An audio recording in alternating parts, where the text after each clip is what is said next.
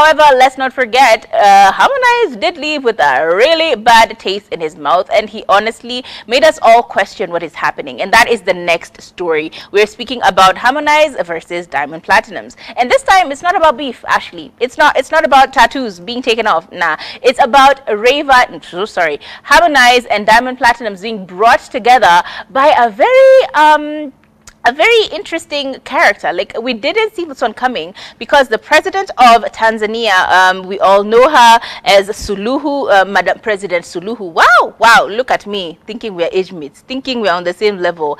Anyway, uh, Samia Suluhu, the president of Tanzania, has officially brought these two together. And apparently this went down during a very special iftar dinner that was hosted by the president in State House, Tanzania. And people actually were very surprised to see um, how many, you see them back in the day, ah, walikuwa vijana wadogo without money. Enyewe, money can clean things. Money can clean everything. Anyway, President Samia, as we said, uh, Samia Hassan Suluhu, who is the president of Tanzania, brought the two of them together during this dinner. And apparently from the people who were at this iftar dinner, a lot of people said that they could see the two of them conversing. And in fact, they saw the two of them actually shaking hands, which is exciting for the people in the fans um, group of the this dinner.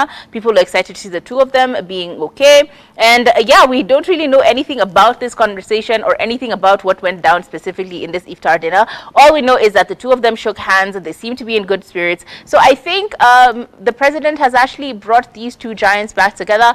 But let's give it time to actually realize, is it true? Is it not true? Were they just doing this for the purposes of looking cordial in front of the president? We will know obviously in a few weeks because Harmonize does not shut up. He just does not shut up about beef. So let's wait and see what he says. Either way, we're excited. Like if they come back and actually do a song together, imagine how big that song would be. Like I would be excited to listen to that song. But wishful thinking on my part, let's see how it goes in the coming weeks. Moving